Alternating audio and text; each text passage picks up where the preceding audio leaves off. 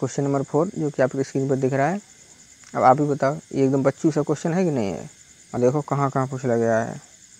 तो इसका मतलब कुछ तो इम्पोर्टेंट है, इसलिए कोई भी क्वेश्चन हल्के मत लीजिए, ठीक? बिल्कुल छोटी छोटी बारीक चीज़ें हैं, जो आपने खूब बचपन में पढ़ी होंगी और आप धीरे धीरे बुलाने लगे हो, और वही गलती हो जाता है। तो वो नहीं करना आपको, देखो। ये क्वेश्चन क्या है? पी अनुपात है अठारह समानुपात का चिन्ह दिया पाँच बटे तीन हो तो पी का मान क्या होगा? और आप ही बताओ आप ही बताओ, आपको अगर पिछली वीडियो आप लोग हमसे जुड़े हुए पिछले टाइम से तो आपको पता होगा अनुपात का मतलब क्या होता है? बट्टा बताए थे हम आपको, अनुपात का मतलब बट्टा मतलब इसे आप ऐसे लिख सकते हो पी बटे अठारह, बराबर पाँच बटे तीन, ऐसे लिख सकते हो, अनुपात का मतलब बटा होता है पाँच, अनुपात तीन का मतलब पाँच बटा तीन। और जहाँ समान समानुपात है, वहाँ क्या हो जाएगा? बराबर। अब क्या करोगे? आमने सामने गुणा करोगे, है ना? ऐसे ऐसे तो कर लो गुणा। तीन थ्री पी हो जाएगा इधर। इधर क्या हो जाएगा? अठारह पंची नब्बे। अरे कटाओगे तीन से तीन कम तीन तीन का नौ। कितना आएगा तीस। पी का मान यहाँ से कितना आ गया? तीस ना आ गया बताओ अच्छा। और तीस किस ऑप्शन में? है ऑप्शन नंबर थ्री में देखो तीस है। कोई हार्ड क्वेश्चन था लेकिन नहीं। बस अर्थ क्या है? कि आप अगर पढ़ाई कम करिए होगे तो फिर ना बना पाओगे। हम्म, इसलिए उम्मीद है कि आपको क्वेश्चन समझ में आया होगा और शायद आप पहले से बना भी लेते होगे।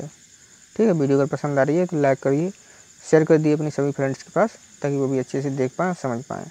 ठीक चैनल को सब्सक्राइब कर लेना है। इसी प्रकार का नोटिफिकेशन टाइम टू टाइम हमेशा मिलता रहे। हम्म, ज़रूरत होगी तो करोगे नहीं होगी तो भाई क्यों करोगे है कि नहीं? चलो जो आपकी इच्छा हो। ओपिनियन देना अपना कमेंट बॉक्स में ओके देखिए question number five question number five देख पा रहे हो? बिल्कुल सिंपल से क्वेश्चन है। आठ और बारह का तृतीय अनुपाति क्या होगा? तृतीय अनुपाति मतलब समझ रहे हो? जैसे आठ अनुपात बारह अनुपात अब यहाँ पूछा है यहाँ पे क्या आएगा? ठीक है? तो ये कैसे निकालते हैं? इसके लिए एक फॉर्मूला याद रखो।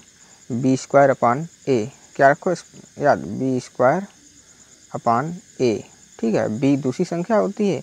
ए पहली संख्या है ना, कौन को ना पता है। तो बी स्क्वायर मतलब बारह गुणा बारह अपान ए ए कितना है? आठ। कटा लो इसे, चार से कटाओ। चार दूनी आठ, चार तिया बारह। इसे कटाओ, दो से कटाओ, दो छः बारह। कितना आ गया? छः तिया, अठारह आ गया। अठारह किसी ऑप्शन में है? देखो अच्छा बिल्कुल ऑप्शन नंबर सी में सॉरी सी में नहीं, डी में। ठीक ऑप्शन नंबर फोर में अठारह है। तो से आपका ऑप्शन नंबर फोर, फाइव जो, सॉरी, फोर, अठारह सी हो जाएगा। ठीक है, फिर एक बार समझ लो। तृतीय अनुपात का मतलब क्या होता है? तीसरा अनुपात, जैसे पहला आठ है, दूसरा बारह है और तीसरा का पूछ लिया, क्या होगा? फॉर्मूला इधर रखो, B square upon A. B का जगह समझ लो, बारह है, ए का जगह समझ लो, आठ तो बी स्क्वायर मतलब बारह बारह एक सौ होते हैं तो बारह गुणा बारह, ए बी स्क्वायर अपान ए। ठीक, नीचे ए स्क्वायर नहीं है, सिर्फ़ ए है, और एक ही जगह क्या है? आठ। कटाओ। चार दूनी, आठ, चार तीन बारह। दो से कटाओ दो दो दो छः बारह। छः का गुणा तीनों करो क्या आएगा? अठारह ही आएगा, जो कि ऑप्शन नंबर फोर में है, ठीक? तो है वीडियो आपको ज़रूर पसंद आई होगी, क्वेश्चन सभी समझ में आई होंगी। और हाँ अब आपको बता दूँ, एक इम्पोर्टेंट बात क्या है, देख लीजिए।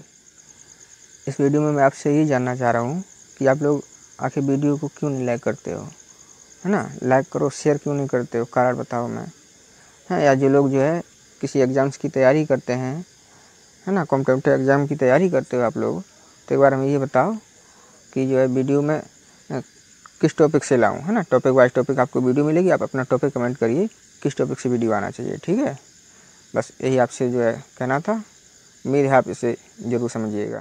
ठीक, मिलते हैं फिर कल नेक्स्ट वीडियो में। तब तक वीडियो को लाइक शेयर और सब्सक्राइब ये सब कुछ कर दीजिए। जय हिंद, जय भारत।